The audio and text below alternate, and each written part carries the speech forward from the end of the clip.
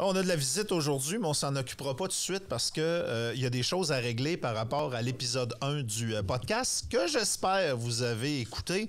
Deux choses sur lesquelles je veux revenir avec les demoiselles de Gravel dans le retour. La première, on a parlé de Wikipédia. hein. T'as lu ton Wikipédia? J'ai lu mon Wikipédia, puis on s'est posé, entre autres questions, qui a écrit mon Wikipédia? C'est ta mère, finalement. Puis on se demandait, tu sais, c'est une mère qui écrit un Wikipédia. Est-ce qu'on l'écrit soi-même? Il y a des gens qui écrivent leur Wikipédia eux-mêmes. Je sais pas si un docteur en économie crée son propre Wikipédia. Je suis pas sur Wikipédia.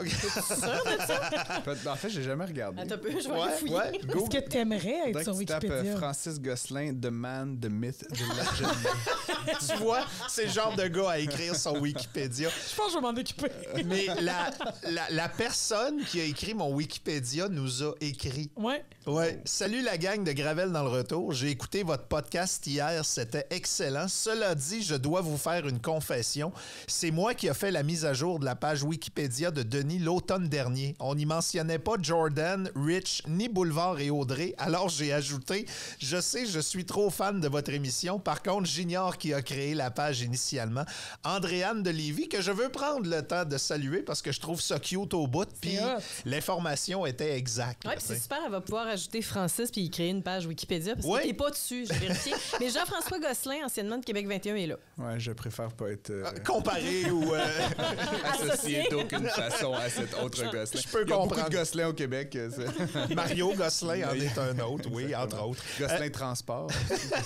L'autre chose euh, que je voulais euh, mentionner avant de nous lancer, c'est euh, un boss qui nous a écrit par rapport au euh, premier épisode et euh, juste revenir sur certaines choses. Alors, le patron que je vais garder dans l'anonymat nous écrit, et je cite, Hey, bravo à vous trois pour le podcast. J'ai écouté hier à la radio et ce matin sur YouTube. Sérieusement, vous étiez vraiment le fun à écouter. Plein de rire, de franchise, de complicité. Ah, puis trois choses. Un, je nie encore avoir empêché Audrey de rire. Et pourtant, Deux, c'est pas moi qui a dit que Véro était une bitch. Ça, je le sais que c'est pas toi. Ouais, on le sait c'est qui, sait on, c'est qui. on le sait que c'est pas lui. Trois, effectivement, dans la cour de Denis, j'espérais vraiment que ça fonctionne. C'était fucking stressant. Fait que peut-être que je voulais pas qu'Audrey rit trop, mais je le nie pareil. Hey, pourquoi ça existe des, des trucs pour transformer les voix? T'es vraiment bon pour modifier une voix. L'éloigner du réalisme. Excellent. Ouais. ça a-tu été dit ou ça n'a pas été dit? Est-ce qu'on t'a demandé de pas rire à notre première rencontre? Est-ce que tu as eu un ordre de la direction qui disait Audrey, tu ris trop? Fais pas une folle de toi, puis ris pas en avant de Denis puis euh, bon, Véro. je vais alléger la situation. Ça s'est dit. Ça s'est dit, ça, ça s'est dit. Je ne démarre pas. Ça s'est peut-être dit de façon euh, Moins direct? moins directe. C'était plus un genre de on est donc bien stressé à deux. J'arrête, moi, j'arrête pas de rire. Quand je suis stressée, quand je, je ris tout le temps, c'en est malaisant. Puis à ce moment-là, bon, on était dans l'auto, puis je riais encore, puis c'était comme. parce Arrête que- de rire, là, parce que tu sais. hein. Il voulait pas te dire arrête de rire, fait qu'il est allé avec plus de généralité, puis il t'a dit Audrey, ta gueule. Souris, ris pas. Je fais attention à ce que je dis parce que je me sens surveillée. Fait que vous écouterez l'épisode 1 pour avoir la vérité. Fait que ça, ça va être le premier segment. Au pire, on l'arrêtera euh, quand on rit ou whatever. Fais attention à ces affaires-là, ça marche pas toujours. Ouais, ouais, ouais, je sais. Ouais, mais c'est pas grave. Moi, je suis pas docteur en rien. Fait que. Puis lui, il a pas trop parlé. C'est pas mis dans le trouble encore. Jean-François Gosselin va être fucking fru. Ouais, il est pas ce genre de Il est docteur-là. encore là, de Jean-François Gosselin? C'est encore un être humain. Il est Ouais. encore en vie, mais pour le reste, euh, non. Genre, il travaille au Subway? Non, non, il est encore au conseil municipal. Ah ouais, ok. Ah oui, Il est encore là. contre le subway. Tu suis pas l'actualité, toi? C'est le tramway, pas. Ah, OK, ouais, c'est ça, c'est ça la patente. Fait qu'on va euh, ouvrir nos choses et on va se, se- lancer, si vous voulez, euh, servir les petites broues d'accompagnement pour le podcast de Gravel dans le retour. Et euh, je tiens à saluer nos amis d'accommodation Chaloux parce que c'est eux qui fournissent les breuvages, c'est eux qui nous accompagnent dans cette aventure-là également. Toujours apprécié des partenaires de longue date. Vous avez besoin de bières de soif pour la période estivale. Vous avez besoin de bières de microbrasserie. Ne vous gênez surtout pas. N'hésitez pas à poser vos questions. C'est des passionnés plus souvent qu'autrement. Vous allez à l'original à Saint-Émile, vous allez à la grande surface du côté de Beauport, ou vous allez au grand marché avec Émilie et sa gang. Toujours un plaisir de découvrir de nouveaux produits, de revisiter des classiques. Un gros merci à Accommodation Chaloux de nous accompagner dans cette aventure du podcast de Gravel dans le retour. As-tu une préférence? Euh, écoute, on a aujourd'hui du Alpha puis du euh, Messorem. Euh, moi, ça me ferait plaisir d'essayer une des Messorem. Là. Tu me rendrais très heureux. Moi, j'ai hérité d'une Messorem euh, que je dois t'avouer que je connaissais pas. Écoute, c'est euh, une des euh, microbrasseries en vogue à Montréal, je dirais, depuis une coupe d'années. Puis c'est pas des produits qui s'exportent beaucoup. Fait que quand il y en a, tu t'organises pour essayer d'en C'est, euh, ramasser. brasserie Messorem Brassitorium. Je trouve que ça fit bien avec, euh, avec moi quand même. Oui, puis je suis content que tu mentionnes le mot à plusieurs syllabes parce que moi, je voulais pas m'essayer à le soigner. Hey, cheers. Hey, cheers! euh, cheers. Gravel. Gravel dans le retour. Le podcast.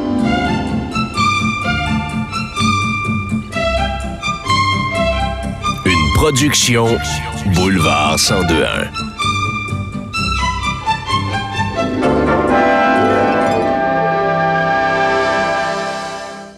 C'est un plaisir de recevoir aujourd'hui au podcast un collaborateur de longue date ou de plus ou moins longue date, mais c'est la première fois qu'on se voit en chair et Trois, en os. trois mois, quatre mois, j'ai Ouais. perdu le Depuis fil. quand, On a du a- fun. À peu près trois mois, je pense. Oui, oui.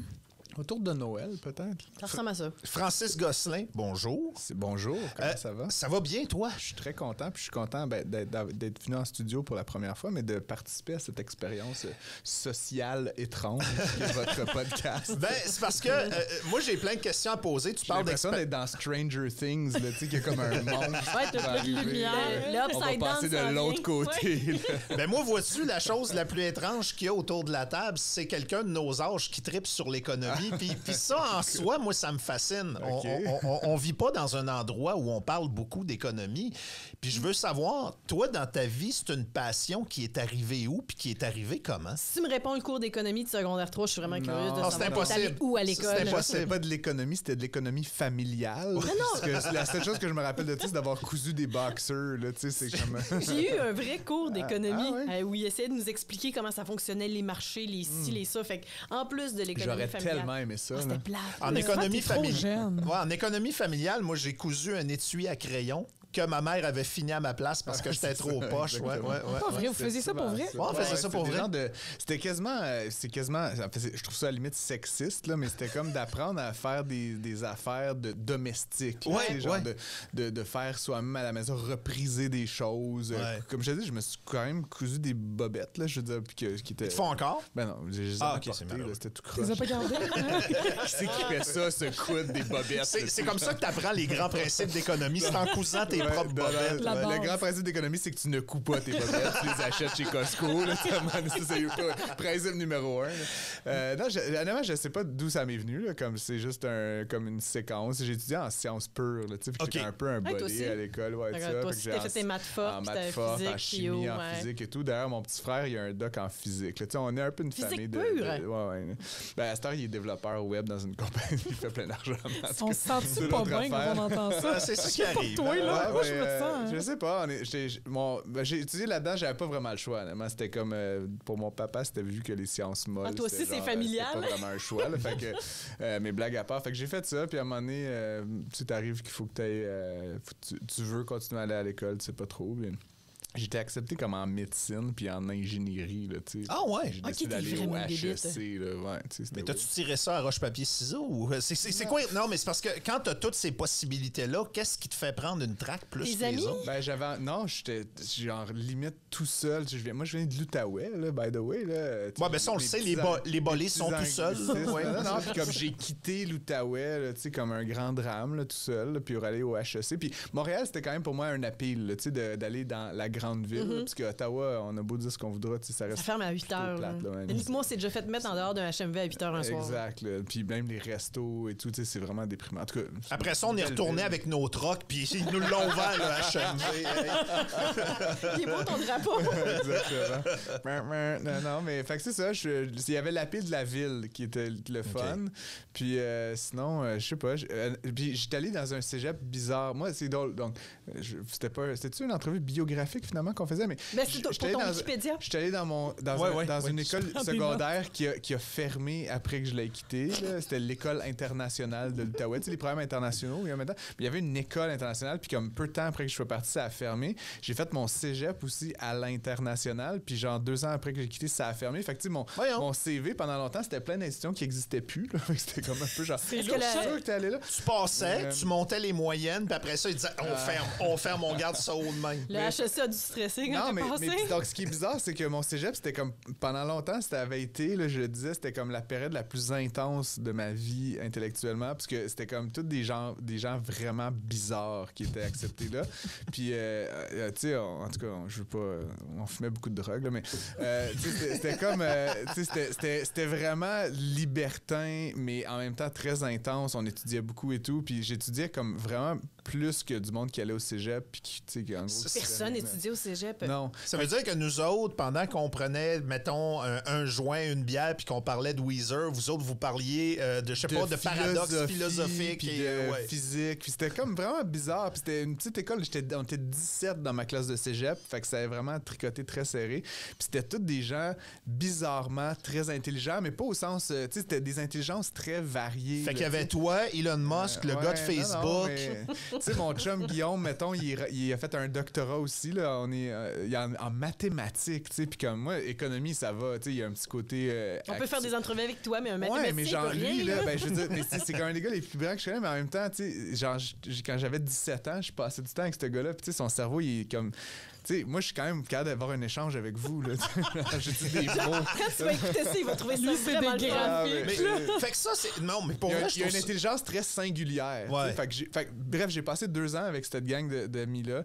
Puis je je suis passé- j'étais allé à Montréal dans le rêve de comme c'était différent. Puis tu sais, j'étais allé à Montréal deux fois dans ma vie prendre le métro. Là, fait, fait que c'était comme waouh, waouh. Puis finalement, HEC, pour moi, ça a été une catastrophe. Ah, ouais. Ah, mais je te jure, là, je trouvais les gens, puis tu sais, c'est pas fin, là, mais je trouvais les gens vraiment cons. Puis c'était comme.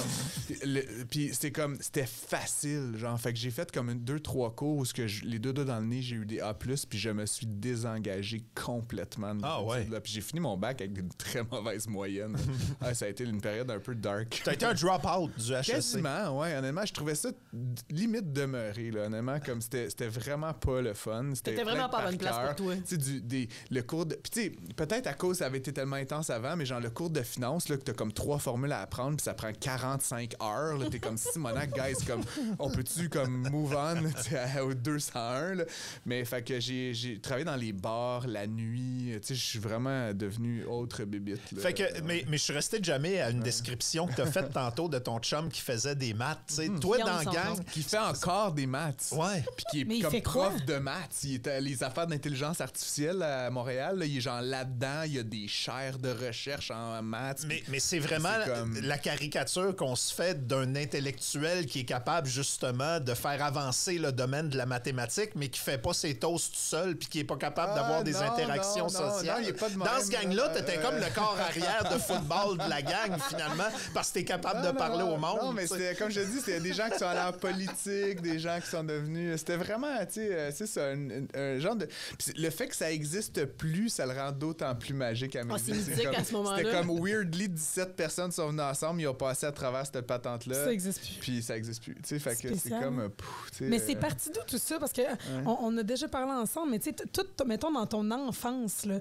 ton petit côté entrepreneurial, Mm. Ouais. ton, ton, tu l'avais déjà, me semble, cette petite fibre économie-là, Ouais, ouais, sans je- même avoir je- commencé l'école. Pas toi que je, écoute j'avais genre limite 12 ans tu sais, le stand à limonade là, genre haha une caricature mais comme j'achetais de la limonade Seal Test à l'épicerie à 99 cents j'achetais des Timbits genre à, je sais pas là, une boîte de vin à l'époque ça devait être 2 dollars ça, ça a monté depuis puis j'allais il y avait près de chez moi un parc extérieur où ils faisaient des, des shows de musique puis tu sais t'avais 200 300 personnes là, t'amenais ta propre chaise là tu sais je sais pas si ça, ça existe encore. Ouais, dans- ça existe Show encore, extérieur. ouais. mais genre de petits shows familial de quartier, là, mais tu sais, en Outaouais. là, Puis moi, je me postais à la sortie de ce parc-là avec ma limonade style test, puis mes, mes Timbits. Puis je l'ai fait, pas mille fois, là, mais j'ai dû faire ça comme 15-20 fois. Puis je vendais un Timbit, 1 dollar, puis un verre de limonade, 1 dollar. Fait que c'est comme ça que tu as Fait payé tes HEC. C'était c'est comme, ça? euh, c'était comme 1000% de profit. Là, Tu sais, ça avait pas d'allure.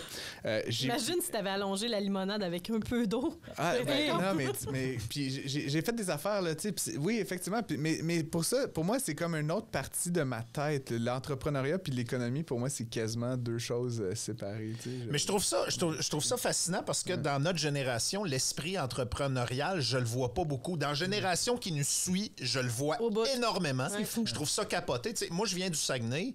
La première chose qu'on voulait faire quand on grandissait au Saguenay, c'était d'en, sortir, effectivement, puis d'aller, euh, je sais pas, faire nos jobs, Mm. se trouver un emploi quelque part. Dans la génération qui nous suit, ils veulent pas sortir du Saguenay. Ils veulent rester au Saguenay. Ils veulent partir une entreprise, chose, souvent dans leur propre village, puis essayer de faire, d'amener une, une couleur à eux autres, tu sais, euh, que, que, que ce soit la boucherie, euh, que ce soit un restaurant, que ce soit une microbrasserie. Puis j'admire ça énormément, puis je me demande pourquoi notre génération, on dirait qu'on a, on a sauté un tour au niveau de l'entrepreneuriat? Ouais, je sais pas. Puis, ben, pourquoi on a sauté un tour, je sais pas. Je sais pas s'il y avait beaucoup plus d'entrepreneurs dans la génération de nos Pas parents. nécessairement. tant Ils ça, recherchaient des sécurités La, d'emploi. la des- nouveauté, c'est plus maintenant, mais tu sais, Ouais. tu remontes il y a 30, il y a 40, il y a 50 ans, je veux dire, je, je suis là, comme entrepreneur pas mal dans, tu sais, je suis les statistiques, ce que tu décris, c'est, c'est nouveau, je pense, puis c'est dopé par l'Internet, là, tu sais, que moi, quand j'ai grandi, j'ai eu mon premier 2,86, là, tu sais, oh my God, l'Internet, mais tu sais, j'ai- euh, puis j'ai raconté souvent ça dans des conférences que je faisais, que j'ai, moi, j'ai grandi comme, comme vous, là, peut-être moins Audrey, mais euh, à- avec le bruit des modems, Ben oui. Puis je me connectais à Internet. C'était un comme une action début. proactive que je faisais. Puis là, il fallait notamment qu'on raccroche pour que mon petit frère fasse son appel. là. Mais mais il y a comme tout le côté que les jeunes, mettons, nés dans les années 2000, là, fait bien dans l'Internet, ils n'ont pas de notion que l'Internet, c'est un truc auquel, euh, tu sais, qu'il y a comme euh, un modem, tu sais, qu'il y a comme que tu te connectes à ça, qu'il y a des fils derrière les murs. C'est juste comme it's everywhere. tu sais, Il y a de la 5G, il y a du Wi-Fi. C'est quelque chose, c'est là. Tu mets un mot de passe, mais il n'y a pas un aspect genre, tu sais, que tu vas brancher un fil à ta ligne de téléphone, puis là.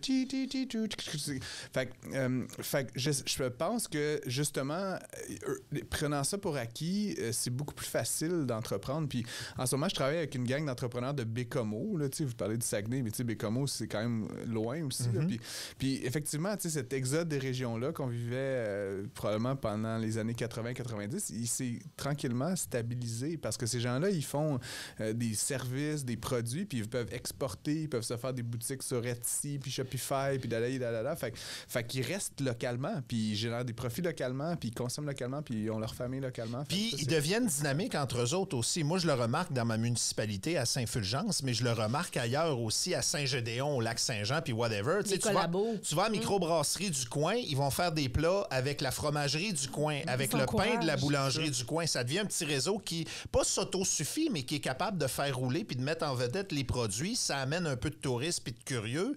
Euh, après ça, ben, les produits se ramassent à l'épicerie. Il y a comme un, un- un- un phénomène, un, Un effet d'entraînement, peut-être. ouais. Ouais, ouais, que je trouve drôlement positif, que nous autres, on n'a pas vécu, mais que, qui, est, qui est là présentement, puis que je trouve qui le a fun. été popularisé donc par l'internet là en fait pas Ouais. popularisé mais rendu possible je pense parce que là on On est connecté. on est connecté l'autre affaire que je pense qu'il y a, il y a quand même euh, euh, énormément aidé c'est c'est comme un un- une volonté de je sais pas comment dire de retour ou de de reconnexion avec quelque chose là un genre de euh, tu sais nos parents ils se cherchaient une job Oui.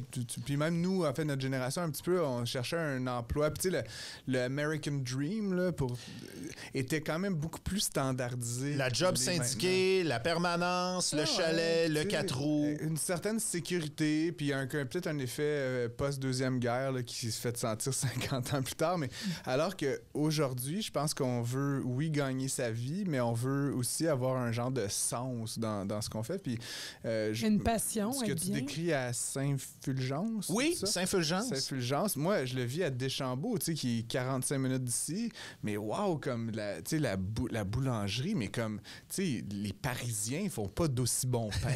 Dis-leur pas comme- ça. C'est c'est hallucinant qu'on ait dans un village de 3000 habitants une boulangerie de cette qualité-là, puis une brûlerie de cette qualité-là, puis Julie Vachon, la chocolatière. Genre, ça, ça mériterait un film, tu Ben, vois. c'est- à que- Deschambault, que c'est genre la meilleure chocolatière au Québec, tu sais. Fait que c'est comme, il y a ce côté-là. Puis, mais ce que Il y a je 20 ans, ça prenait des importations. Il fallait que tu consommes Exact. des fromages d'ailleurs, puis des Ou chocolats t'allais dans la d'ailleurs, grande ville, t'allais euh, à Québec, t'allais à, aussi, à. Sherbrooke, à Gatineau, à Montréal, mais il fallait que tu ailles vers le centre. Aujourd'hui, ça, effectivement, c'est rendu partout possible. Puis je parlais de Bécomo, j'ai plein d'amis aussi en Gaspésie, puis tu sais, on voit cette espèce de, de, de retour, là, puis je trouve ça, je trouve ça vraiment excitant. Ouais, c'est le fun. Euh, ouais, c'est vraiment le fun. C'est le fun. Puis, tu sais, tu prenais tes exemples. Moi, je peux te raconter l'histoire d'un jeune boucher Mhm. à Saint-Fulgence qui fait le meilleur saumon fumé que j'ai jamais mangé de ma vie. Puis, lui était à Saint-Fulgence avec sa blonde, puis il faisait des miracles, puis il faisait triper tout le monde dans son village. Puis, quand il a déménagé à Jonquière, je pense qu'ils ont fait une messe pour porter le deuil ou sais pas quoi. Pour vrai, ça a été une tragédie. là. Alors qu'il était à quoi, 35 minutes? Ouais, ouais, mais tu sais, t'avais perdu quelque chose qui faisait, euh, qui, qui, qui faisait pas rayonner, mais qui, qui amenait une distinction puis, puis une fierté.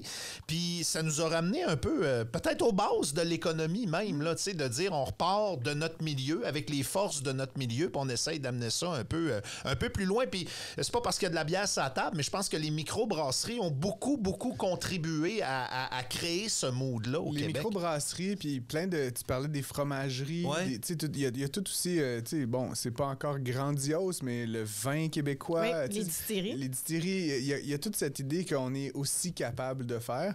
Puis ce que je trouve le fun, peut-être un peu différent de la génération de nos parents, c'est que contrairement à ce qui était le cas avant, que c'était très genre paroissial, maintenant, c'est des entrepreneurs qui sont aussi ouverts sur le monde. Fait que c'est euh, le Québec, là, puis une certaine fierté d'être euh, à Saint-Fulgence, à Deschambault, au Québec, whatever, mais, mais aussi de, de le faire pour le monde. tu sais. Ouais. Fait que euh, c'est pas. euh, Il y, a- il y a quelque chose de- de- d'aspirationnel là-dedans que peu importe où tu es, tu peux, euh, tu, peux servir. Ben, c'est facile planète, avec les, les internets, les réseaux sociaux. Surtout aujourd'hui, tu peux te une connaître. business. Ben oui. Mm. Tu sais, il y, y a une fille, moi, je me souviens quand je suis arrivée à Jonquière, là, elle s'appelle Chloé. Puis je sais pas si vous allez la. la, la- si vous la Ça fait longtemps qu'on est parti. Ouais, c'est ça, je me dis dans le fond, je dis n'importe quoi. On connaît pas, Elle- Chloé connaît- de Jonquière. On Ouais, connaît pas tout le monde au Saguenay, C'est Audrey. c'est la rumeur, ça. hein? Les, Pari- les Parisiens qui me disent Hey, Mon cousin, Ben oui. à Montréal. Je connais- André, tu le connais? Je connais pas tous mes cousins puis mes Mais cousines. c'est vraiment ça, Chloé de Jonquière. C'est vraiment ça. Bon, mais elle, elle s'est on, partie. on la salue. On la salue, oui. On attend son, son SMS. C'est ça. non, mais elle, elle s'est partie vraiment un, un brand de, de vêtements. Pas des affaires extraordinaires, là, des hoodies avec son logo, là, puis ses petits dessins. Puis, mais le fait qu'elle est partie chez elle, ça a vraiment pogné, là, Chicoutimi. euh, Puis euh, maintenant, je veux dire, elle est à travers le Québec. Puis, je veux dire, le monde commande ça sur Instagram. Puis, ça fonctionne tempête. Fait que ça a permis ça aussi. Puis, je pense que ça fait en sorte que la génération actuelle. euh, se donne la possibilité de se créer une compagnie, même si cette compagnie-là aura pas ou fera pas des milliers de dollars. Là, tu sais. Je- la- puis la dernière affaire pour moi qui est quand même assez marquante, c'est c'est que l'entrepreneur, là, tu sais, euh, il- il a- c'est quand même devenu quelque chose. tu sais. Puis c'était- à l'époque, c'était moins popularisé, mais aujourd'hui, tu sais, on a des on a des célébrités entrepreneurs Ouais, à ouais. tous les niveaux, là, dans ta ville, à la province, au Canada, dans le monde. On a des modèles. Euh, on a des modèles. On a des. Avant, on avait Lise Wattier. Ouais, Maintenant, on en a ouais. plein. Mais tu sais, Elise Wattier, puis je veux pas. euh, je- une entrepreneur euh, admirable, mais, mais tu sais, un peu difficile à, à relate, là. Tu sais, pour moi, je sais pas comment. Je suis Lise tellement d'accord. Oui, je comprends. ben, mon équivalent. tu sais, mais, mais Nicolas Duvernois, genre, comme. Fait yo, les genre, Allô, ouais, mais tu sais, genre, je sais pas, Chummy, tu sais, il a comme notre âge, il, tu sais, il, il est cool. Judith Fetzer chez Cookit, tu sais, c'est comme. C'est des gens comme vous et moi, tu sais, c'est comme si dès que, entre guillemets, n'importe qui, c'est des gens exceptionnels, mais ce que je veux dire, c'est, c'est que c'est pas genre Lise Wattier, ils ont pas genre été- la reine, là, tu sais, c'est quoi ce que je veux dire, le côté, Il y a genre, plus de- complètement, euh, c'est quasiment aristocratique, Ouais. là, puis avec tout le respect que j'ai pour elle, mais je dis juste, euh, on a beaucoup d'exemples aujourd'hui d'entrepreneurs qui ont réussi, qui sont... Qui arrivent de nulle gens part. qui- Ils ont- il y avait pas de parents avant, des, ouais. des dizaines et des dizaines à Québec ici. Moi, j'ai plein d'amis là, entrepreneurs, là, tu sais, des, des Joey Bussière, des Carl Frédéric euh, de Selle, et tu sais, des gens. Mais n'importe qui aujourd'hui peut vraiment le faire. cool, tu sais, puis qui sont, comme je dis, ils vont dans les bars, ils vont dans les événements, tu peux leur serrer la main, ils sont pas, ils sont pas, tu sais, Daniel. Henkel, Ouais, tu sais, ouais. inaccessible. que j'aime beaucoup, mais, mais tu sais, qui, est- qui, est- qui est inaccessible, effectivement. Ben, je pense que c'est à tous les niveaux, tu sais. Puis moi, moi, je vois un paquet de. Je, je- je sais pas. Tu sais, on, on voit un paquet de chefs à cabane à cette heure, là. Tu sais, là, du monde qui partent avec leur passion, qui bâtissent le réseau, puis qui tripent sur le produit, puis le chum, puis le gang, puis sont là-dedans 24-7. Tu sais, c'est un genre de mentalité qui s'est qui s'est développée. Puis le- le- au niveau de l'ac- de l'accessibilité, ça a changé aussi. Puis euh, je pense que c'est- c'est c'est Véro qui parlait de ça il y a pas longtemps. Euh, avant, euh, pour être un chef, euh, fallait que tu caches ton tatou si Hey, t'en avais un. C'est Chuck Hughes qui parlait de ça. Ouais. Chuck Hughes, c'est ses tatouages, c'est tout de la bouffe, c'est tout des passions. Puis il expliquait ça en entrevue. hein. Il se faisait dire là, il va falloir que tu mettes des manches longues, puis il faut pas que ça paraisse. Maintenant, ils te prennent pas à l'école pour être chef, ils te prennent pas dans le job si t'es pas tatoué, puis si t'as pas des stretches. là. Il J'exagère. faut un style. Mais tu sais, ça s'est tellement démocratisé. Ouais. À une certaine époque, les chefs, c'était un petit peu justement Ouais. comme Lise Wattier puis Daniel ton c'était pas le Martin. une là. photo de casting, là. C'est ça. C'est Chuck, je vais être cool derrière le bar. Hey, Quelqu'un qui euh, avait des conversations euh, philosophiques de cégep avec des, intellectuels de grand niveau comme toi, c'est quoi l'intérêt de venir parler avec des niaiseux comme nous autres? Faire des? Legos avec toi un jour. Des c'est pour ça. niaiseux, je sais pas, je dirais pas ça, mais... Ah, je, vais, je, vais, je vais prendre la, la balle là-dessus. J'adore parler. Fait revient à l'économie, tu sais, puis Ouais. même à la conversation qu'on vient d'avoir, comme pour moi, tout ce qu'on dit, il y a le volet visible, tu sais, les, les entrepreneurs euh, qu'on connaît, euh, mais il y a tout, il y a tout un, un système euh, qu'on voit moins, puis que moi m'intéresse, puis tu dis ma passion. Je je pense que c'est vraiment une passion. Je lis des livres d'économie, tu je vais comme Oh, ouais. l'avouer, mais. Ça existe, Euh, non? Oui, c'est ça. mais, ouais, plein, là. Je pensais que c'était juste des thèses, très bons, tu sais. Puis je veux dire, mais. Donc, si on dit par exemple la croissance de l'entrepreneuriat au Québec, ben c'est pas non plus accidentel. Oui, il y a les dragons, oui, il y a un effet générationnel, oui, il y a Internet, mais tu sais, il y a tout derrière ça euh, des effets qui ont été induits par des affaires comme les taux d'intérêt, par des organismes comme les centres locaux de développement. Puis il y a comme plein d'incitatifs. Puis là, tu rentres dans- un peu dans mon, dans mon domaine, dans mon turf. Tu sais, c'est pourquoi c'est arrivé de même, pourquoi il y a plus d'entrepreneurs, pourquoi les Québécois C'est quoi les sont- plus ouais? riches qu'ils l'étaient, etc. Tu sais, euh, PIB par capita, plein de mesures. Fait, fait puis ça, ça, vraiment, ça m'intéresse pour de vrai. Puis j'ai eu la chance, moi, dans ma vie, euh, depuis, euh, mettons, 15 ans, de voyager beaucoup. Euh, puis certaines des expériences les plus weird ou en tout cas les plus frappantes que j'ai fait, c'est genre aller en Thaïlande. Puis euh, pas pour les plages autant que pour l'économie. Puis ça, ça sonne un peu geek encore une fois, mais genre de voir ces gens-là qui tout. gagnent genre 10 de ce qu'on gagne par année, en moyenne. Puis t'as des très riches puis des très pauvres, mais puis me me poser la question comme, puis tu sais, je sais pas, vous êtes allé dans ces pays-là, au Vietnam. Oui, oui, moi mais- aussi, je fais du tourisme économique. non, non, oui, oui, mais c'est pas, c'était pas économique à la base, mais pour moi, ce qui, ce qui m'a comme frappé, c'est que t'as comme des familles qui, de génération en génération, depuis longtemps, vendent des fleurs. tu. C'est carrément ça leur Puis business. À 30 cents, tu sais, comme. Puis, puis c'est comme. tu nais là-dedans, à la limite, t'as pas vraiment le choix. Tu vas mourir là-dedans De reprendre le kiosque. Ouais, ouais, ouais. C'est ça l'étendue de tes horizons économiques, là, puis économique, puis social, puis, puis de- tu vas te marier avec le- la fille du voisin qui a aussi un stand de fleurs. Tu sais, fait que je me suis toujours... j'ai écrit, j'ai écrit là-dessus, puis je me, tu sais, je me suis posé la question, mais tu sais, le développement économique, ça sonne très euh, Justin Trudeau, là, puis abstrait, mais à la fin, c'est comme... Il y a une époque où, tu sais, on vivait on, tu sais, dans des, dans des espèces de pioles pas chauffées, pas de frigo, pas d'électricité, on faisait caca dehors. Avec des familles de 13. Ouais, tu sais, puis c'est comme comment que ça s'est passé, tu sais? Puis c'est pas par accident, tu sais, il y a comme des affaires que tu peux faire. Puis, tu sais, on, On s'entend-tu que la, la Thaïlande vive à la même époque que nous, là? Oui, oui. Puis, euh, ils- puis ils ont des mobiles, puis tout ça, Ah mais ouais. ils ont pas évidemment le iPhone 13 à 1500 parce que 1500 c'est comme ce que tu gagnes en six mois. Ton année de fleurs, total. là. Ouais, c'est ça. Fait, fait que c'est ça qui pour moi, ça ça m'a, ça m'a, ça m'interpelle beaucoup. Euh, même ici, tu sais, euh, il y a des écarts de richesse, puis comment tu fais pour sortir les gens de la pauvreté, puis comment tu fais. puis- fait, qu'il y a tout ça qui, moi, me fascine, puis je pense qu'on on, on gagne à comprendre un petit peu mieux ces affaires-là. Puis je dis pas que tout le monde doit devenir docteur en économie, mais, mais j'ai quand même la conviction que si on savait tous un peu mieux compter, un petit peu mieux, puis tu sais, sans devenir des obsédés de l'argent, tu sais, je suis pas non plus de, de cette gang-là, mais On est assez illettrés là-dessus. En général. Fie aux mais, autres. mais pourquoi, euh, pourquoi au Québec, on, on est. Je veux pas dire pire qu'ailleurs, mais on dirait que. Il y a un on- désintérêt. On, on essaye. euh, C'est-tu quelque chose de religieux de dire avoir trop d'argent, c'est mal? Fait que contente-toi de gagner ton pain. Puis. je- je- Religieux, euh, ouais. Ouais, mais, mais parce que moi aussi, j'essaie de le comprendre. Puis je, je- je lève la main, je plaide coupable. que J'ai pas de notion c'est en drôle que tu économie. m'emmènes sur ce terrain-là, Denis, parce que je- je- à- à- quand tu as commencé à faire ton commentaire, j'ai tout de suite pensé à un truc. C'est hyper euh, snob et geek, mais il y a un livre, moi, qui m'a beaucoup frappé. J'ai fait mon doctorat en partie là-dessus. C'est un livre de Max Weber, qui est un auteur. J'adore Max euh, Weber. ok, bon. Puis il a écrit L'éthique protestante et l'esprit du capitalisme. Puis c'est c'est c'est illisible.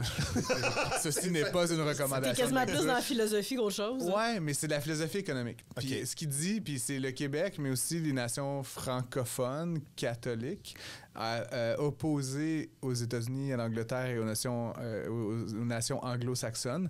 Euh, Il y a dans le catholicisme cette idée de la culpabilité, puis notamment de la culpabilité en lien avec la richesse, Beaucoup, la fortune, beaucoup. le succès. Et donc, si tu es riche, euh, tu, tu- tu- c'est parce que Dieu, en guillemets, t'a choisi, puis donc, euh, tu, y dois tout, puis, puis tout ça. J'ai pas lu Weber, mais j'ai lu la Bible. Puis effectivement, il en parle beaucoup. Là. Dans le protestantisme, dans les milieux anglo-saxons, quand tu t'enrichis, c'est parce que tu fais le, ce que Dieu veut que tu fasses et donc euh, tu, tu participes. Tu sais, tu- en fait, tu, tu es un acteur de cet enrichissement-là et donc tu, dois, si tu veux, faire la gloire de Dieu. Là. Puis tu sais, je suis pas super croyant, mais, mais, mais ça, c'est de ça qu'on hérite. Tu sais. Puis Ouais. la, la Révolution tranquille au Québec est un peu, un peu venu briser ça, tu sais, le, le dogme catholique, la gouvernance catholique sur la, la nation québécoise. Mais ça reste qu'on, tu sais, notre langue, notre, notre- notre manière de penser le monde, est, est- elle, elle, elle Ça prend vient de là quand beaucoup même. de ça. Puis, sais, c'est pas pour rien qu'au Québec, on, tu sais, souvent, quand les gens ont du succès, quand les gens sont riches, tu sais, on- quasiment, on, Il y a un on petit est mépris, hein. sceptique Mm. ou on a Ouais. un mépris. Ils doutent qu'il y a une fraude en dessous. ouais. Ouais, c'est vrai. Alors juge. que, tu sais, aux États-Unis, au Canada anglais, c'est beaucoup moins le cas. on mais- célèbre, on admire, on. Mais pour boucler Euh, la boucle, Francis, c'est en train de changer parce qu'avant, un patron ou quelqu'un qui était un entrepreneur, c'était un crosseur, c'était un boss qui payait son monde au salaire minimum puis qui donnait pas de vacances. Mais là, l'entrepreneur, c'est ton voisin.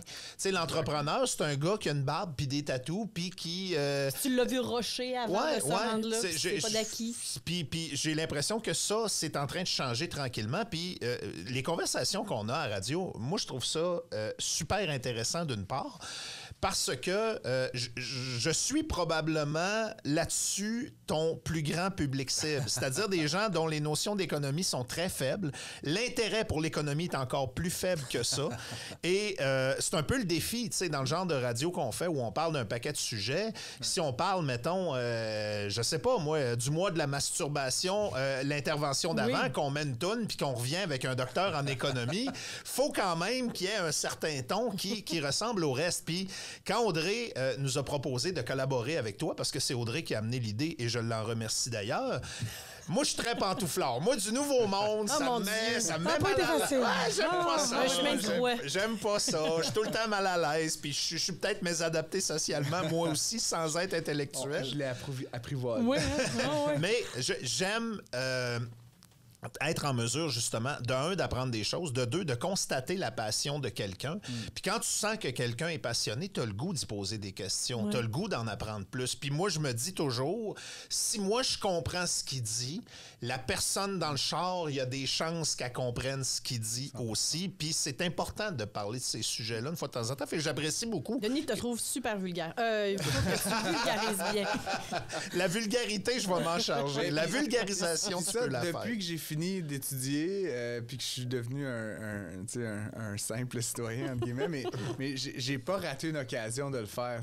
J'aime ça faire ça, puis je, je vous salue, puis je vous remercie d'ailleurs de, de me donner autant d'occasions, mais ça a pris plein de formes à travers le temps. À un moment donné, je donnais des formations, le trait de base sur la bourse, puis comment comprendre pourquoi l'action de Apple, de Tesla, de Google, elle se comportait comme ça, puis de, de creuser, ah ben c'est parce qu'il y a tel type de produits qui font, puis le marché, puis la bourse, puis les taux d'intérêt, puis sérieux, là, il y a des soirs, il y avait 120 personnes dans la salle, comme c'était... Puis, puis c'était pas très payant, honnêtement, mais, mais c'était juste comme pour moi, c'était le fun de parler de ça, puis de voir que justement les gens, ils comprenaient, puis ils apprenaient. Mhm. Et après ça, ils pouvaient éventuellement prendre des décisions pour eux-mêmes, pour leur placement, pour leur épargne et tout ça. Être un petit peu plus autonome à ce niveau-là. Être un petit peu plus autonome. Puis, puis je pense que, tu sais, on- on- le Québec, encore une fois, a été pendant longtemps, tu sais, le- les porteurs d'eau, sais, tout ça. Puis je- ce qui est intéressant pour moi, c'est que le Québec, c'est... c'est- J'ai beaucoup travaillé en France, là, puis le Québec est, est- est en Amérique du Nord, tu sais. Fait que forcément, on emprunte beaucoup aux anglo-saxons, justement, qui sont nos voisins et tout ça, sans, sans tout partager. Puis quand on compare avec la France, c'est fou comment l'évolution québécoise, depuis comme 15, 20, 30 ans, a été rapide sur ces questions-là versus la France, qui est encore qui a encore beaucoup de difficultés à parler ouvertement d'argent, de rémunération, de placement et tout.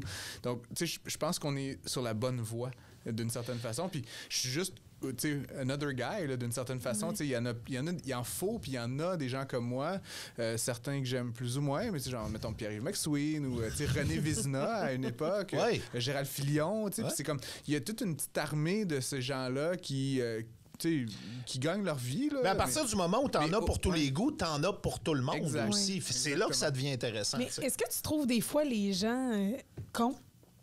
Comprends-tu ce que je veux dire? Tu sais, j'imagine Je que pour toi, répondre à cette question-là? Oui. Non, mais Ouais, ouais. pas moi, face à quelqu'un comme, comme Francis, honnêtement, je me dis, il faut que je comprenne la première fois. Je me sens innocente de demander deux fois. Parce que ça a l'air tellement simple pour toi, de un, puis quand tu l'expliques, on dirait que je me demande si tu le sens quand les gens comprennent pas. Puis est-ce que tu trouves le monde Tu le innocent? vois-tu, le poisson Ben, rouge passer d'un ouais, à l'autre? Non, ben con, genre. Mais, mais moi, ce qui me fâche, entre guillemets, le plus dans cet univers-là, qui est, qui est celui que, que je- qui m'intéresse, c'est au con- c'est les gens qui qui en savent un peu, là, mettons, puis qui, mais qui, qui euh, montrent les choses comme étant noires ou blanches. Tu sais, qui- Puis j- on parlait des crypto-monnaies tantôt. Là, Ouais, comme- ouais. ça, ça m'agresse énormément, les gens de Bitcoin Bros, là, puis c'est beaucoup des hommes en plus, blancs, là, tu sais, un, un peu, mais, mais ça m'énerve, tu sais, parce que c'est plein de nuances, puis nobody knows, ce qui est intéressant avec les crypto-monnaies, c'est le point d'interrogation. Fait que quand t'arrives puis tu te dis c'est le même, genre, pour moi, c'est c'est- c'est ça que je trouve con. On pourra peut-être que- le dire dans 50 ans, là, mais pas là. Ouais, Non, mais, mais, justement, puis il y a plein d'industries de même, tu sais, on le sait pas, tu sais, fait qu'à quelque part, euh, sois humble par rapport à l'état du monde, puis continue à te poser des questions, tu sais, parce que de dire, ah, c'est c'est la meilleure affaire du monde, ça va monter, ça va monter, puis là, quand, quand ça baisse, tu, tu dis rien, puis quand ça monte, tu fais des statuts Facebook, tu sais, c'est- je trouve ça, euh, tu sais, malhonnête à quelque part, fait que moi, les gens que je trouve les plus cons, des fois, c'est pas les plus cons au sens de l'intellectuel ou de, tu sais, du IQ, mais, mais c'est les gens qui, justement, pour une raison ou une autre, cherchent à manipuler les autres Ouais. ou à te dire fais ci, fais ça. Parce que là, là, quand tu fais ça, tu te tires un rang, puis tu sous-entends que les gens qui n'ont pas tes connaissances sont cons, donc tu peux les amener dans une direction comme un berger qu'un troupeau de moutons. Ça, c'est con. euh, Oui, C'est con. effectivement. C'est malheureusement dans cet univers-là, un- souvent, en fait, pas souvent, mais parfois, c'est des gens qui, qui tirent parti de cette méconnaissance-là. Re, pourquoi on a besoin tous d'en savoir un petit peu plus sur les bases euh, d'économie. ouais. Euh, euh, Francis, quand on t'a invité avec nous autres pour le, le podcast, euh, Audrey m'a demandé à quelques reprises euh, de quoi tu vas y parler puis tout ça. Puis euh, je disais tout le temps, Ah, on verra, on verra, on va s'installer, on va jaser. Euh, À date, ça va bien, là. Ça enchante mes collègues d'ailleurs quand je leur dis, ah, on va jaser, On puis adore on va, va Moi s'organiser. aussi, je suis un bon public pour ça. mais il y a- mais il y, a une chose, par contre, Francis, euh, c'est que euh, tu fais des conférences, puis il y a un sujet avec lequel Audrey me revient tout le temps, tout le temps. Fais-y parler de l'échec. Puis là, je sais pas si on va parler d'économie ou de philosophie ou un mélange des deux, mais l'échec. C'est euh, à la fois évocateur, à la fois important, à la fois épeurant. Puis euh, on gère mal les échecs. On a peur des échecs. On s'empêche de faire des choses pour les échecs. Puis c'est vrai en amour, c'est vrai en carrière, c'est vrai en 100%. économie, c'est vrai dans un paquet de choses. Puis en même temps, tu lis la biographie de quelqu'un qui a réussi quelque chose. Ça n'a pas été du premier coup. Ben, Non! Et- et- et- f- Incontournablement, c'est du monde qui se sont pété la gueule. Pas juste une fois, souvent c'est 4, 5, 6, une dizaine de fois. Je L'échec, ce qui est vraiment intéressant, je trouve, dans tout ce, ce sujet-là, c'est que ça touche vraiment tout le monde. T'as Ben pas oui. besoin d'être docteur en économie, t'as pas besoin d'être... Pour te planter, non, absolument pas. Tout le monde se plante, puis j'avais tellement Ben, envie tu t'es qu'on en parle planté au HEC, tu sais. et bien d'autres fois. Puis, euh, écoute, il y aurait tellement de choses à dire là-dessus, là, puis je veux être euh, rapide, mais euh, pour C'est un podcast. j'ai j'ai tu lancé, peux y aller j'ai lentement. lancé il y a quelques années un événement qui s'appelait les Fail Camp. Puis on en a fait à Québec, d'ailleurs. On en a fait à Sherbrooke. On en a fait euh, plusieurs à Montréal aussi. C'était des événements euh, où on essayait de. On faisait parler, en fait, des personnalités publiques sur leurs échecs, là, un petit peu ce que tu viens d'écrire. Puis les billets étaient comme 50 là, ou peu importe. Mais les gens venaient puis écoutaient ces conférences. Un peu comme des TED. Là, Des gens qui se sont ça. relevés de leurs échecs, clairement. Plus ou moins. Ah pas oui, ok. toujours. Puis, tu sais, Ben, on a eu des moments de malaise, on a eu des gens qui ont pleuré, il y a eu plein d'affaires. Mais tu sais, fort. Catherine Dorion a été là, euh, Jean-Martin Haussan, euh, Ah, ouais. Mélanie Joly. Mais après ça, on a eu des, des joueurs de soccer de l'Impact. On a eu euh, Ok, c'est Alexandre Taillefer qui a parlé du suicide de son fils. C'était Eh, mon trash, là, On est allé euh, là où ça faisait mal. Puis on a eu plein d'entrepreneurs aussi tu sais, qui ont fait faillite, qui ont perdu beaucoup, qui ont eu des... euh, puis l'idée, euh, c'était, c'était ben, comme tu viens de le dire, de montrer qu'en fait, c'était, tu sais, ça arrivait à tout le monde. tu sais. Puis, puis j'ai même, là, ça c'est l'événement, le grand public, mais après ça, je suis allé dans plein de compagnies, puis faire parler les vice-présidents, puis les PDG devant leurs employés de toutes les erreurs qu'ils avaient fait dans leur parcours pour montrer que Louis Vachon à la Banque nationale ou, des, des patrons dans des grandes banques en France et tout ça, qui souvent on les voit comme ah, sais, sont parfaits, entre guillemets, ils- eux autres, c'est sûr qu'ils se trompent jamais. Ben en fait, non, ils se trompent tout le temps. Hey, c'est tellement formateur comme mouvance parce qu'il y a plein de choses là-dedans. On dirait que depuis 10-15 ans, on se donne le droit de parler des moments plus durs, des faiblesses et ainsi de suite. On a un Carey Price qui dit faut que je me repose le mental, puis il faut que j'arrête. Un Jonathan Drouin qui dit la même chose.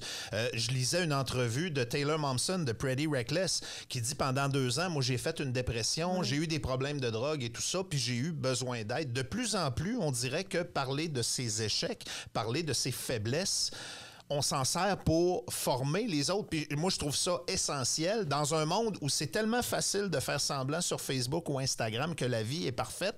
On dirait qu'il y a du monde qui travaille de plus en plus à essayer de pourfendre cette image-là, puis de dire le succès n'arrive pas seul, puis les épreuves, tout le monde en a. La vie, c'est pas facile. Et Ça- pour ça vivre. a commencé exactement comme ça. Ah ouais? Ouais, notre idée, c'était juste de, de jaser de ça, un peu comme de dédramatiser l'échec. Mm-hmm. C'est ce qu'on disait au début. Euh, puis de fil en aiguille, comme je n'ai fait euh, 15 de ces événements-là. Puis tu sais, des fois, il y avait à Montréal, il y a eu des fois 300 personnes. Tu sais, C'était vraiment très, très populaire. Euh, puis ça m'a amené à, à force d'écouter aussi là, les conférenciers, puis à fouiller ça, puis à préparer des événements, à réfléchir à plein d'aspects de nos vies, comme quand tu vas à la petite école, là, genre maternelle et tout, euh, primaire, tu as déjà tu dois déjà avoir des bonnes notes. C'est comme, pourtant, tu sais, t'as fucking 6 ans, là. Comme, c'est quoi, là? S'il y a un moment dans ta vie où tu peux te péter à gueule, c'est là, là. là. Comme, c'est pas quand tu gères 500 personnes puis que t'es le big boss. tu sais, c'est comme, pète-toi à gueule à 6 ans, tu sais. C'est parce que c'est là que l'apprentissage se fait. Puis, Ouais. euh, à un moment donné, à HEC, donc, euh, que j'en suis revenu, là, puis je suis redevenu chum avec eux, finalement. Mais, mais, mais ils m'avaient invité comme un diplômé, euh, je sais pas, là, qui... Émérite? Ouais, ouais. Ben, non, mais un diplômé qui fait bien sa vie, là. Je me rappelle plus comment ça s'appelait, là, mais tu sais, impressionnant, je sais pas quoi. Puis il voulait que je fasse une petite conférence. Puis j'ai fait ma conférence sur les échecs, tu sais, puis c'était comme un peu weird, là. Je, je leur ai dit le sujet, mais que, ils s'attendaient que j'allais dire tous les bons coups que j'allais faire. Puis j'ai fait un peu comme la liste, puis j'ai fait ça en, en mode conférence, mais de toutes les. Ça s'appelait la- ma conférence Les conneries que j'ai faites. Puis ça commençait genre à la fois quand j'étais petit que j'avais breaké avec mon. ma- on pouvait breaker de même avec Oui. les pédales, là, puis, puis j'étais tombé, puis je me suis tout drenché le genou, puis, puis que, que de ça, je l'ai plus jamais refait. tu sais. Puis à quelque part que l'échec, c'est comme la, la seule façon vraiment d'apprendre. Puis plus tard, quand j'étais au HEC, là, j'haïssais ça, comme je vous dis, fait que je me suis parti d'une business de peinture de maison, là, collège pro. Oh, oui. ça, Oui, oui. euh, tu sais, fait que j'ai embauché des peintres. Tu sais, qu'est-ce que je sais à la peinture résidentielle? pas grand-chose, mais ils t'accompagnaient là-dedans. Puis j'ai, cet été-là, c'était un été, là, euh, de- de- pendant mon bac, j'ai vendu 100 000 de contrats de peinture.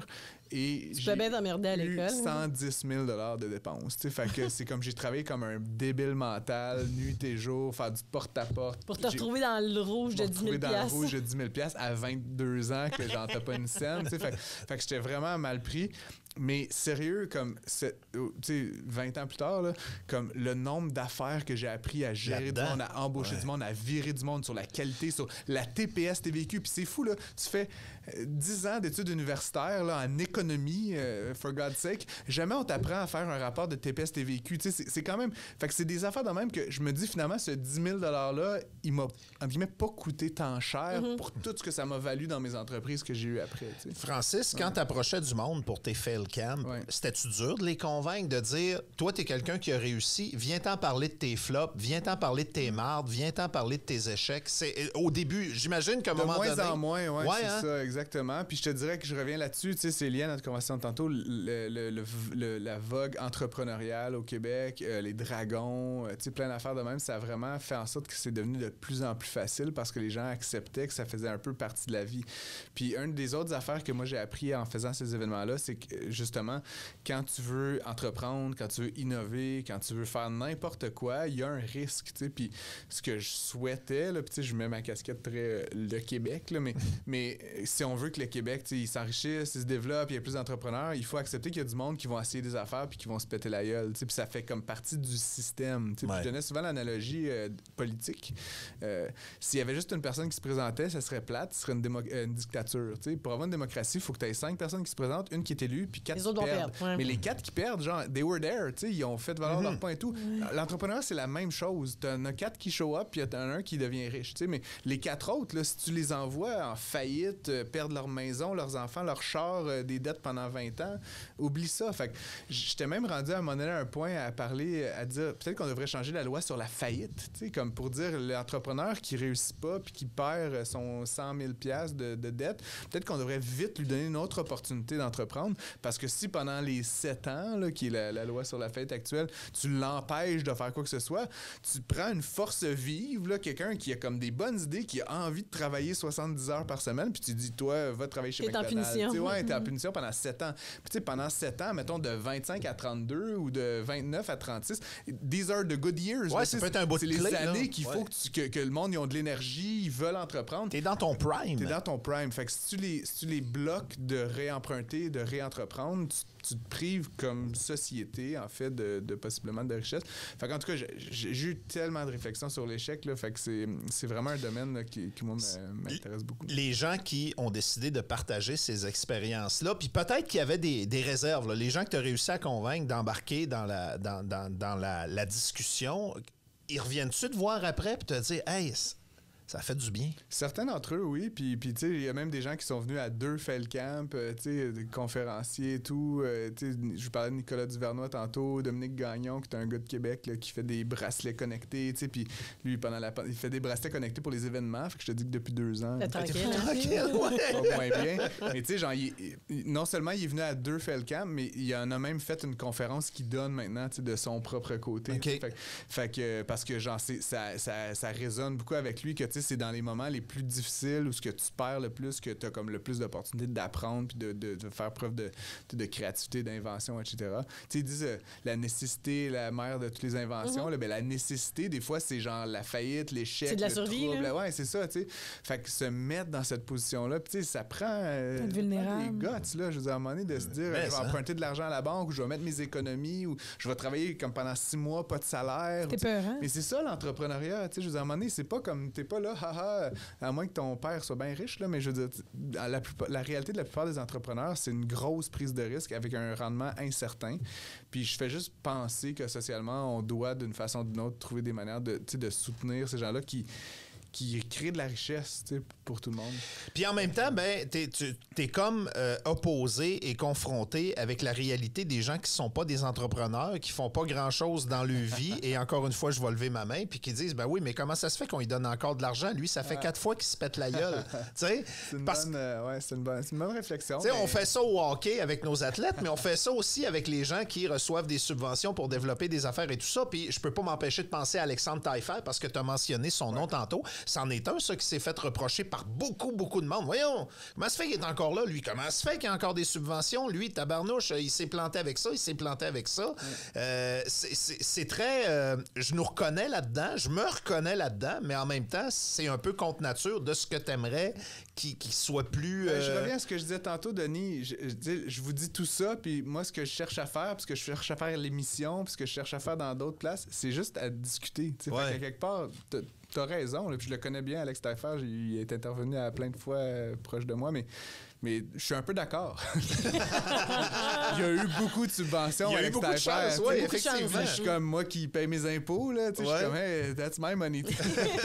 mais, mais en même temps, à la fin, j'essaie pas de dire euh, il faut y en donner, il faut pas y en donner. J'essaie juste de dire, tu sais, euh, normaliser notre rapport à l'échec. Ouais. Ce qui veut pas dire de faire des chèques en blanc à l'extérieur pour autant. tu sais, Puis, puis, et plein d'autres. tu sais. Puis à un moment donné, il y a des gens qui, si mettons, on mettait en place une règle de deux ans sur la faillite au lieu de sept ans, je suis sûr qu'il y a du monde qui en, qui en tirait parti. Là. Il, ferait des, Sûrement. il ferait des faillites euh, tu sais, euh, stratégiques. là. Fait on veut pas ça non plus, mais à un moment donné, je pense que ce qu'on essayait d'emmener avec cet événement-là, puis ce que je fais maintenant plus avec mes conférences, c'est d'essayer de juste d'avoir une conversation. Puis des fois, c'est dans... Là, je parle au Québec, mais après, des fois, c'est dans une business. Puis tu sais, je l'ai fait là, dans des les camps de jour de la Montérégie, puis sport et loisirs la Naudière, tu sais, des affaires à, à plus- à une échelle plus modeste, juste pour dire, tu veux animer des enfants cet été, essaye des affaires. Puis tu sais, Ouais. des fois, il y a des activités qui vont être poches, qui vont pas marcher, mais si tu les essayes pas, tu vas refaire la même routine. Mais il y a beaucoup ça de ça. Il y a beaucoup de monde fait, qui ouais. s'empêche de, de créer Exact. des projets par peur d'avant. Ils ont peur d'avoir peur. Exact. Je veux euh, t'entendre sur un dernier point. Euh, puis je veux pas nécessairement que tu deviennes le Grégory Charles de la semaine, mais l'économie. Est-ce qu'on doit mieux l'enseigner? Est-ce qu'on doit mieux l'intégrer dans un système d'éducation? Est-ce qu'on doit amener ça plus tôt de façon plus concrète? Moi, j'ai l'impression que oui. Euh, j'ai l'impression que les cours d'économie qu'on a au fil des années sont, sont difficiles. On, a de la misère à relater avec ces cours-là quand on est jeune, alors que si on utilise des trucs concrets, moi, des principes d'économie, quand j'achetais mes, C- mes CD au HMV, j'ai compris très, très vite, là. On était capable de s'en acheter un par mois chaque en faisant la run des basics et ainsi de suite. Je veux dire, quand ça nous touchait de près, il y a beaucoup de gens qui ont appris à lire en lisant un livre sur leur idole. Tu sais, le premier livre de ben des kids, c'est peut-être le livre sur Wayne Gretzky dans ma génération et tout ça. Ça- ouais, je sais pas quel âge t'as, mais c'est comme. Je, je- T'as quel âge? parlais, puis je pensais Wayne Gretzky.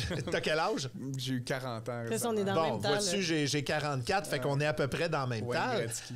Mais, mais tu sais, se servir de choses qui sont importantes Ouais. pour les kids, pour amener peut-être plus rapidement des, des principes d'économie de base qui pourraient aider du monde à devenir des entrepreneurs, à devenir des...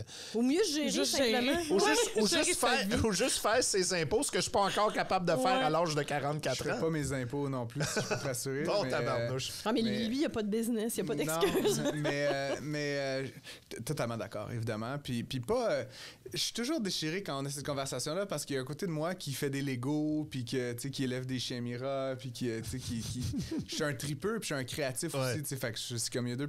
Fait que je me dis, je voudrais pas faire de la société une gang de gens obsédés par l'argent, puis tu sais, tout ça. Mais en même temps, il y a effectivement un besoin, je pense, à ce moment, de, de comprendre la base. Puis moi, honnêtement, je suis comme un peu obsessif, là, genre, si tu veux savoir, là, tu sais, j'ai un fichier Excel que je m'ajoute à, tout- à tous les jours. Puis tu sais, j'ai- comme. Bon, on reçoit ta recherche pour tes chroniques, fait que ça, on l'avait compris. Là, ouais, ouais. Très organisé dans la Tu fais plus de recherches pour une chronique qu'on fait ensemble que moi pour ma semaine de radio au grand complet. Mais. Fait que je m'attends pas que les gens vont avoir ce niveau-là, mais tu sais, comprendre tu sais, la, la notion euh, revenu moins dépenses égale Mhm. ce qui reste à la fin. Là, puis tu sais, de, de comprendre la différence entre un actif puis un, un revenu. Puis, tu sais, des fois, c'est juste, j'ai l'impression que je pourrais passer une heure avec, avec n'importe qui dans le fond, puis tu sais, cette personne-là, elle serait comme plus smart à la fin. Puis Ouais. pas plus smart au sens euh, intelligence euh, QI, mais genre. Plus allumé un peu. Puis juste à comme ces choses-là. t'as ton salaire, tu payes, tu sais, puis j'ai l'impression que des fois même les gens ils se fâchent par rapport à des, à des questions relatives à l'argent, alors que c'est juste un, une incompréhension, tu sais. Puis on a parlé beaucoup d'inflation à la- à l'émission ces derniers temps, puis comme pour moi l'inflation c'est un peu banal, tu sais, là, l'inflation est importante, mais c'est sûr que les salaires vont suivre, tu sais, fait que c'est juste, mais là, les gens, ils jettent les bras en l'air, c'est cher, tu sais, c'est- Parce que l'ajustement n'a pas encore oui, été oui, fait. mais ce que je veux dire, mais, mais c'est- ça suit de très près, tu sais, parce que la raison pour laquelle les prix augmentent, c'est souvent c'est que les salaires augmentent, tu sais, c'est comme, ça va dans tous les sens, mais fait qu'au lieu de se fâcher face à l'argent, de comprendre minimalement what's going on, ça, ça permet de, de, pff, tu sais, de respirer un petit peu, puis de s'assurer de chacun tirer un peu mieux parti. Puis inversement, ça fait aussi en sorte qu'on va être plus en position de mieux négocier, fait que comme je l'ai dit, je veux pas faire de tous les artistes puis de tous les skateboarders euh, des, des, des docteurs en économie, là. mais, mais à quelque part, de comprendre le minimum Mm. de, de gestion financière personnelle, ça me semble euh, être une manière, puis même de mieux réaliser ses passions, tu sais, le Oui. skateboarder, puis le rapper, puis le, tu sais, le- n'importe qui qui a une passion non économique là, euh, peut, euh, avec plus de moyens, mieux réussir dans sa passion. Fait que pour moi, c'est c'est comme un, quelque chose que je souhaite faire puis que j'essaie de faire à travers euh, Francis, vie. ouais. merci d'être venu jaser au podcast. Audrey, merci de nous avoir présenté Hey, Francis. Puis euh, merci de faire partie de notre, euh, notre petite gang. On- vous savez qu'on est des voisins maintenant. euh, Ben oui. juste moi, C'est là, Officiellement. C'est Deschambault represent. loin. D'ailleurs, euh, si jamais vous cherchez une place, je connais des maisons à vendre. euh, je, On un- va enrichir le village. J'ai pas encore de, de char électrique, fait que non, ça va être correct. Je vais peut-être t'en vendre un. T'as-tu des plugs pour un char électrique? Hey, hey! J'ai des plugs partout. Euh, C'était très cool en tout cas. Je suis content d'avoir fait le podcast. Super. C'est vraiment le fun. Ouais. J'ai ouais. plein d'autres questions pour une autre fois. Ouais, c'est ça. Faut se reprendre. Une suite, Hein? Francis contre-attaque. Épisode 7. Oh, non, mais c'est yes! tout l'épisode sur acheter des Legos, tu- c'est rentable. là. Je suis comme curieux. J'ai hâte de faire ça. Je vais, euh, je vais t'envoyer des photos, si tu veux, Véronique. J'ai l'étoile de la mort euh, 2017 dans Ouh. la boîte, dans un sac, Tu dans l'as? le sous-sol. C'est celle de Spider-Man, ça? Non, non, non, non, non. L'étoile de la L'étoile de la mort. Je sais exactement de quoi tu C'est parles. juste avant qu'ils changent le Oui. modèle. Fait que- Ok. Parce que des- les Lego, en tout cas. Son, il, est, la- il est lettre. On va mais, pas mais- mais c'est est un item de C'est collection. un item de Tu collection. l'as jamais fait. Tu, tu l'as gardé dans un sac. J'ai regardé dans la boîte. Il vaut combien? Dans un sac. Je l'ai payé 470 et c'est c'est très con. Là. Je l'ai acheté avec un ami. Euh, Raph- Raph Vous avez investi ensemble? On a co-investi. C'était comme une joke. On a dit on va chacun mettre 200 dans un Lego and we will see. là. C'était comme une expérience. Il vaut là, combien? euh, je pense au moins 1000 même. Mais là, Audrey, t'as-tu 200 pièces de lousse? Il y a des Transformers qui sont à vendre Faudrait, Lego hein? dans le 1er juin, là. Ma business, check bien ça. Mais ça revient à ce qu'on disait à l'émission tantôt, puis on va peut-être se laisser là-dessus, mais j'ai l'impression que toutes ces espèces d'effets-là de spéculation complètement là, Ouais. qu'on va se le dire, acheter un char de 50 000 km le même prix qu'un char neuf, ça n'a pas de sens. À un moment donné, ça va s'internaliser dans le marché, puis je pense pas que ça va durer très longtemps, honnêtement. Même les Lego, là, à un moment donné, les gens... Les Funko? Veux-tu te parle des figurines Funko? Je connais pas ça. Ça n'a aucun sens. Des figurines que tu payes 13 piastres. C'est Et les Il y en a certaines... ouais. Ouais, c'est ceux-là. T'en as de toutes les catégories. Là. Des séries télé, des personnages euh, historiques, Des des, musiciens. des- des musiciens, euh, des films, euh, et, et ainsi de suite. Puis c'est des figurines que tu payes 14 piastres, mais là, il y en a qui euh, valent 1000, 2000, euh, 4000, Effet de rareté. 5000 dollars. Ouais. Ça n'a pas de Tu mots sais juste que bon l'autre affaire que les Lego que je collectionne, c'est les figurines. Hein? tu sais, Je savais pas. Maintenant, je sais. Le sait, mais j'ai plein, plein, plein de. Tu sais, les art toys, là, qu'ils appellent. Ouais, ouais, genre, ouais. J'en ai, euh, j'en ai plusieurs dizaines, là, fait que- va mais, mais- mais- mais je fais ça plus comme un collectionneur que comme un investisseur, mais, mais je suis persuadé que certaines d'entre elles ont pris des belles valeurs, là, fait que ça, c'est. Ouais, mais faut, y, complètement- faut y garder dans les boîtes. Les gardes-tu dans les Ouais, boîtes? non, non. Moi non plus, je suis pas capable. mais, voilà. mais, mais ben je voilà. garde les boîtes. Moi, je les garde pas. Me qu'on vous laisse? On en fera on est comme moi. On... Hey, faut y aller, faut y aller. Bye bye, merci. Francis. Gravel. Gravel dans le retour. Le podcast.